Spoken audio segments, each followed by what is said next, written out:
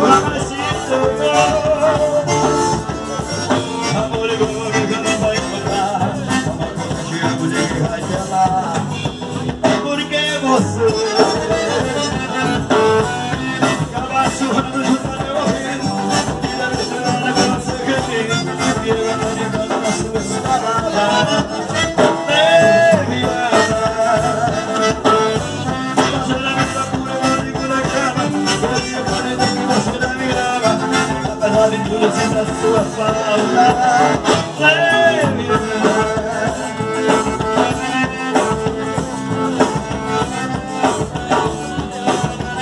O nome dela mesmo